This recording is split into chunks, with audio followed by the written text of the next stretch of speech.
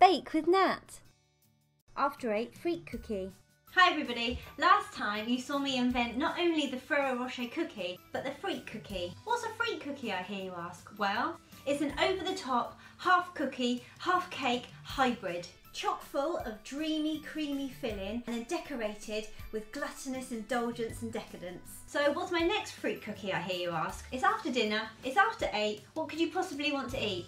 A giant after eight Freak cookie. Wanna try it? Let's do it. Preheat the oven to 190 degrees Celsius. Line a baking sheet with baking parchment. Boil some water. Sieve 25 grams of cocoa into a big bowl. Add 5 tablespoons of boiled water, be careful. Blend to a paste. Add 100 grams of salted butter and 75 grams of caster sugar and 50 grams of dark brown sugar. Give it a good mix. Next add one large beaten egg and mix it in.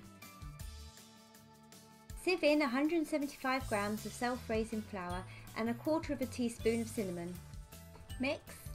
Add 100 grams of dark chocolate chips, then spoon out 12 balls approximately 1 tablespoon in size. Fridge for 10 minutes. In a new bowl, add half a can of sweetened condensed milk, which is about 200 grams, and add 300 grams of icing sugar. Pour in 6 capfuls of peppermint essence. Stir until thick but runny.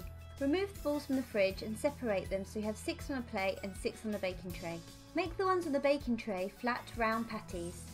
Use the back of a spoon to imprint a small well into the middle of the cookies.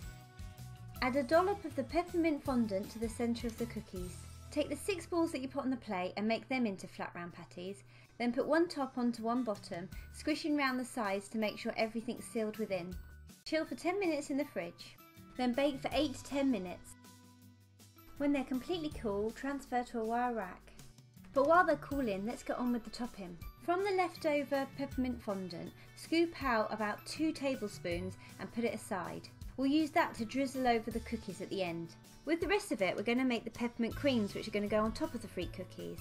So you're going to need about 75 grams of icing sugar to go in now. The consistency should become like Play-Doh, so if you feel it's too wet, add a bit more icing sugar. If you feel it's too dry, add a little bit more essence. Roll out the mixture to about a centimetre in thickness, then use a small cutter to cut out some shapes. Then transfer these to a baking sheet to dry.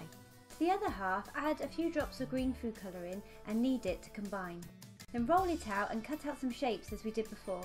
Then allow these to dry. Melt 25 grams of dark chocolate on a medium power in the microwave for one minute. Then drizzle it across the creams and leave it to dry. Melt 75 grams of dark chocolate on a medium power for about 1 minute 20 seconds and then drizzle it in thick lines across the cookies. Take the fondant that you set aside and add a few drops of peppermint essence to loosen it, then drizzle it across the cookies in thick lines. Finish up by decorating the cookies with your lovely peppermint creams. And there you have it, I've invented the After Eight Freak cookie. Look at that bad boy. Oh, pretty damn good. It's pretty good. Jeez, that is amazing. Oh my god, that is actually insane. Thanks for watching. Please subscribe. Okay, a word of warning, I feel really hyped up.